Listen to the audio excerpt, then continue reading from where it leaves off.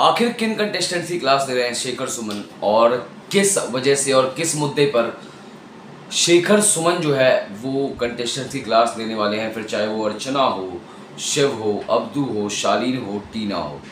और शेखर सुमन जब भी आते हैं, कुछ ना कुछ फन और नया सा लेकर आते हैं।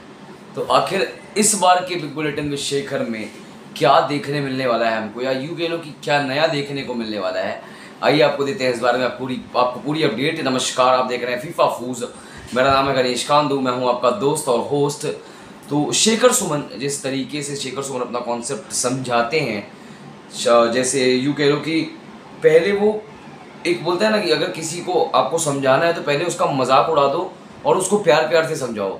वो तरीका है शायद शेखर सुमन का। जिस तरीके से शेखर सुमन समझाते हैं, मज़ाक में, पहले तो आपको ऐसा लगेगा कि भाई हमारी ले ली गई है लिटरली ह्यूमिलेट किया गया हमको।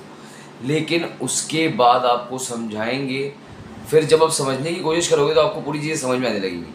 और जिस तरीके से शेखर सुमन हर बार कुछ ना कुछ अलग अलग कॉन्सेप्ट लेके आते हैं, फिर चाहे वो बंदर वाला हो और फिर चाहे किचन वाला हो, और जिस तरीके से हमेशा वो कुछ नया सा अपना करने की कोशिश करते हैं, वो सारी चीज़ें हमेशा रंग लाती हैं। और कुछ कंटेस्टेंट जो है, वो हमेशा शेखर सुमन के पास फंस जाते हैं, जैसे शालीन टीना कह लो, शिव कह लो, अर्चना कह लो, ये लोग ऐसे लोग हैं जो, जिनको शेखर सुमन बोलते ही बोलते हैं इवन और प्रियंका एक हो गई। वजह है क्योंकि शेखर सुमन जो है, उनको ऐसा लगता है कि जो स्ट्रॉन्ग प्लेयर है, वो डिज़र्व करता है। ये सारे जो बातें होती है ना, वो स्ट्रॉन्ग प्लेयर जो है, जो स्ट्रॉन्ग प्लेयर डिज़र्व करता है। तो प्रियंका जो है, उनको भी बैशिंग मिलती है शेखर सुमन से। बैशिंग नहीं कह सकती फन के लिए आते हैं शेखर सुमन, लेकिन जिस तरीके से सेगमेंट लेकर आते हैं, वो देखने में काफ़ी ज़्यादा मज़ा आता है। तो अगर आपने अभी प्रोमो देखा होगा तो शेखर सुमन जो है, सबसे पहले शुरू करते हैं अर्चना से। अर्चना को बोलते हैं, आपको बिग बॉस से प्यार हो गया। आप बिग बॉस से आपको प्यार क्यों? क्योंकि आपको कैमरा दिख रहा है, लेकिन बिग बॉस नहीं दिख रहे हैं। लेकिन आप तो बिग बॉस को पूरी दिख रही हो। वो कितना सोचते होंगे।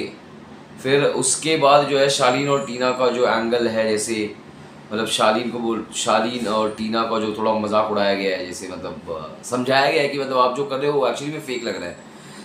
फिर उसके बाद शिव और अब्दू को जैसे फॉर फन समझाया गया, जैसे जकूज़ी में नहा रहे थे शिव और अब्दू तो शेखर सुमन कहते हैं कि जकूज़ी में ये लोग ऐसा नहाए, उसके बाद जकूज़ी को नहाना पड़ा। तो मतलब ऐसी सारी चीज़ें कि फ़न क्योंकि शेखर सुमन आते ही उसने फ़न के लिए कि हाँ मतलब इतना शो है, थोड़ा बहुत, बोलते हैं ना, हंस लेंगे, लेकिन जो उनकी बैशिंग होती है बहुत प्यार से लेते हैं शेखर सुमन, लेकिन बहुत तगड़ा। जो अगर समझने वाला बंदा होगा, उनकी बहुत सारे पॉइंटर्स समझ जाएगा। तो इस बारे में आपकी क्या राय है, ज़रूर बताएगा हमारे कमेंट सेक्शन में लिख कर। और इसी तरह की बिग बॉस की इंसाइडर इन्फॉर्मेशन और गॉसिप जानने के लिए बने रहिए हमारे साथ, यानी कि फीफा फूस के साथ। धन्यवाद।